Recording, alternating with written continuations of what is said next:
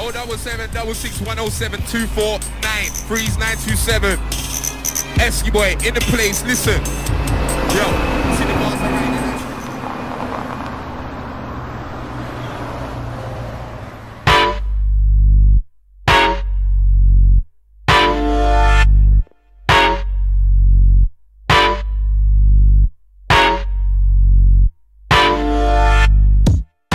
Freeze FM started in the summer of 1999, broadcasting from West London, and quickly grew to become one of the largest underground stations in the city, winning three awards for the best pirate radio station.